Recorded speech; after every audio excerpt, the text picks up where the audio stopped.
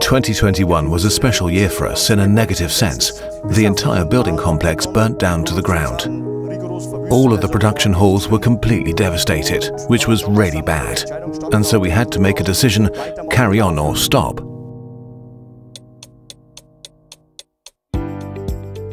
But after just one night it was clear, they rolled up their sleeves and carried on.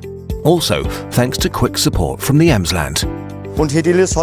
Hedelius supported us by immediately providing a machine so that we could quickly set up production again and continue to serve our customers. And that was probably the best decision they could have made.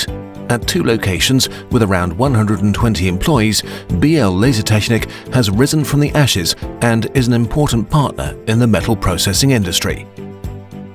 From laser cutting, bending, welding and milling to powder coating. Here on the border with the Czech Republic, they offer the whole range, whether it's one-off or series production it would be difficult to be more flexible, especially with the six Hedelius machines located in a separate hall. Moritz Zammer is the operator of the Acura 65.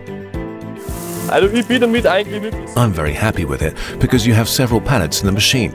You have more setups, so you don't have to keep re-equipping all the time. The machine is now in the first processing stage, and for the second processing stage, it just picks up the second pallet. And that happens fully automatically.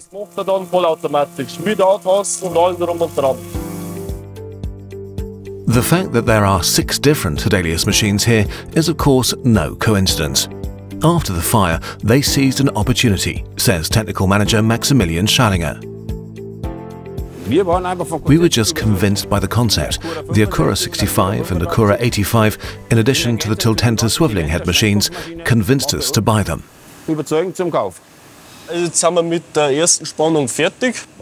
Now we've finished the first clamping operation and it's picking up the next pallet for clamping operation 2.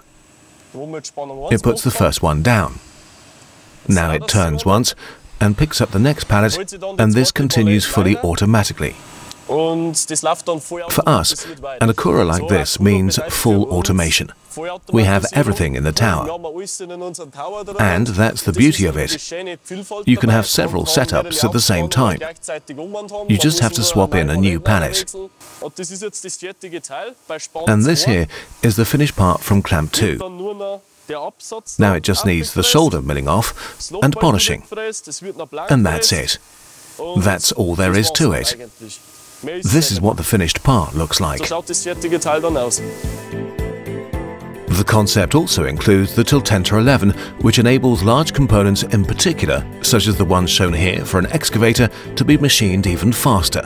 In this case, that amounts to 15 minutes per workpiece, a performance praised by technical boss Schadinger. And if things do get stuck, well, fortunately, the Bavarians haven't had any negative experiences. Everything has worked so far, you can't get higher praise than that.